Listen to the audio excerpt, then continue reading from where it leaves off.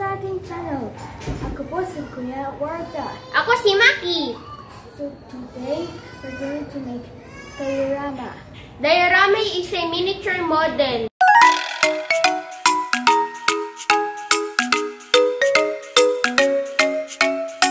Ito po ang mga gagamitin natin. Ito po ang styro board. Sandpaper, Ayan po ang cutting board. plastic cover, Barbecue stick. glue stick, Glue gun. cutter, Ruler. Last.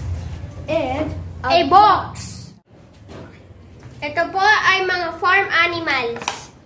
Ito po ang mga dinosaurs.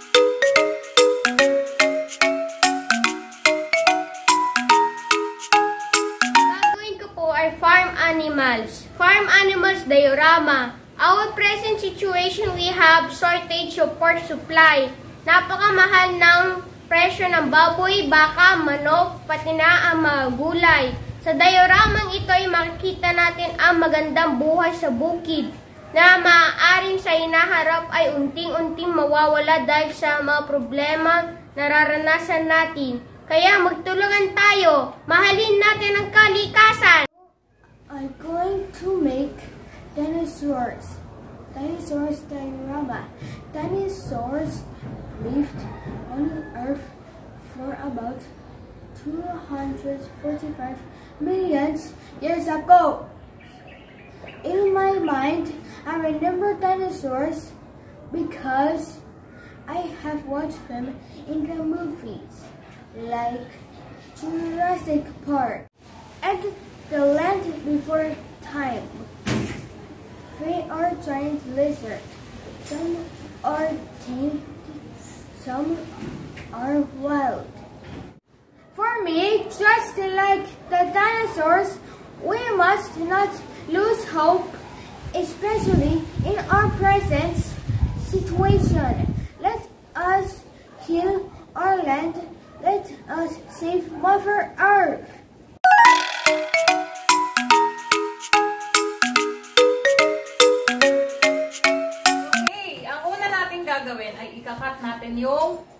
Box kasi hindi natin kailangan ng hindi natin to kailangan yung part na to. Tsaka itong part. Tsaka itong kabilang side. So, wala siyang top, left, and right. So, kailangan ng tulong ng parent dito kasi gagamit sila ng sharp object. So, okay. Takat ko lang siya.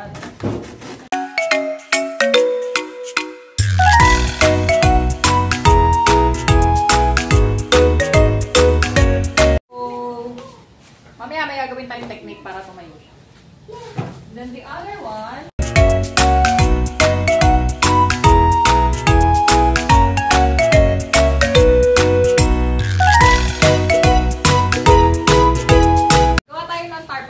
bilang background. So, kakat natin, nagawa tayong parang background. Dito natin ilalagay yan.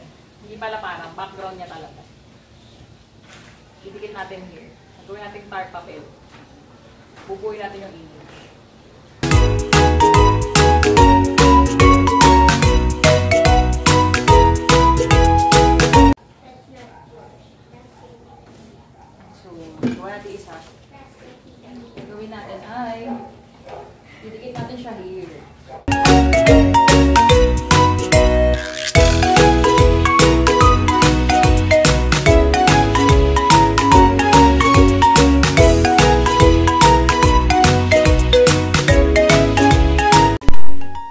Naman, magkakat na tayo ng styro para maging flooring at dagdag patigas na rin sa ating diorama.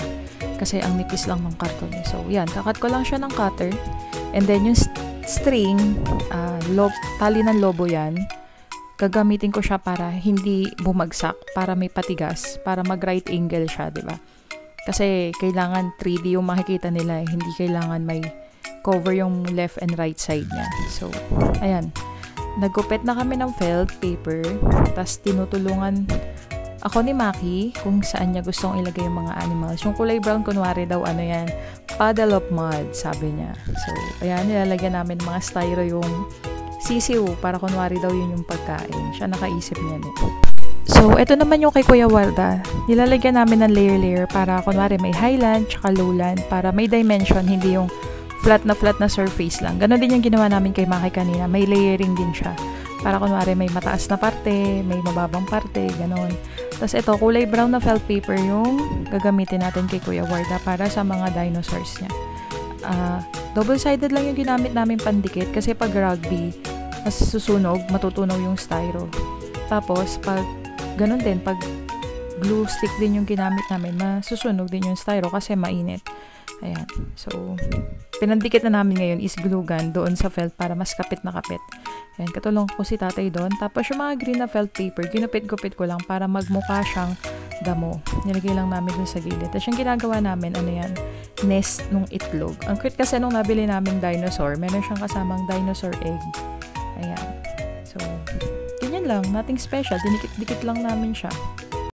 Tapos katulong ko dyan si Kuya Warda. Tinatanong ko siya kung saan niya gustong ilagay yung mga dinosaur niya. Tapos pinaalis ko sa kanya yung T-Rex. Ayan, makikita niyo yung glittery na T-Rex na blue and red.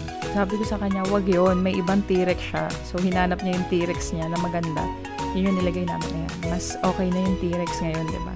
So, siya rin yung nagpwesto niya kung saan niya gustong ilagay. Ayan. Tapos, ulit, ayun, yung mga felt din ginupit namin para kunwari may damo-damo dun sa harapan.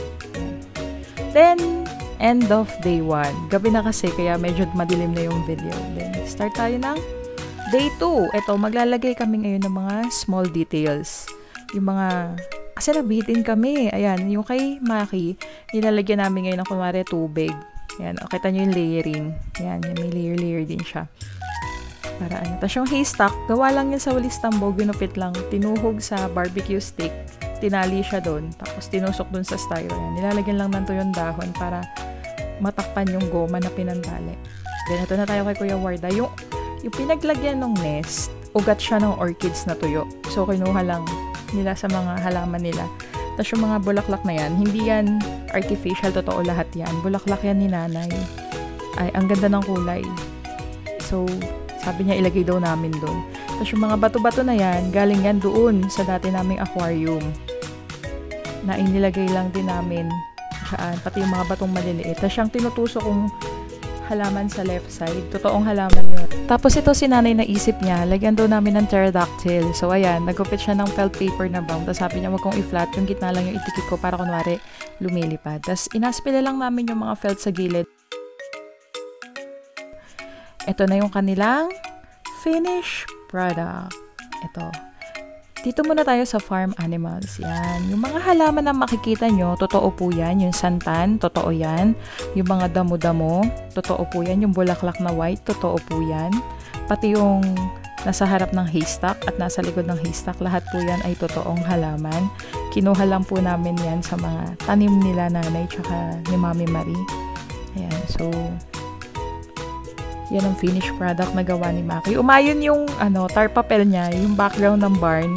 Kasi tingnan nyo, makikita nyo, meron siyang manok na mag-asawa sa gitna. So, ang cute, mukhang realistic, diba? Tapos, ayan yung kunwari tubig. Ayan. So, ito yung different angle niya.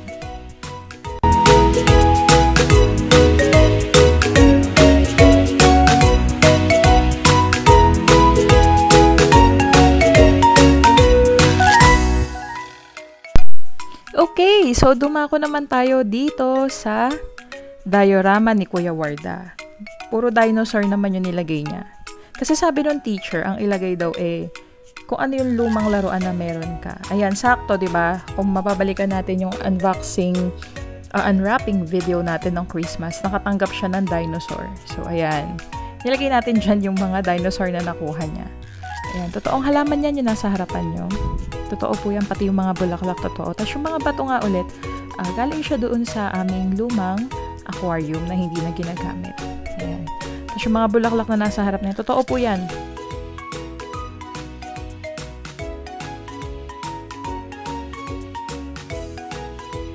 Tapos yung nest, ang nilagay dyan is yung ugat ng orchids na tuyo na.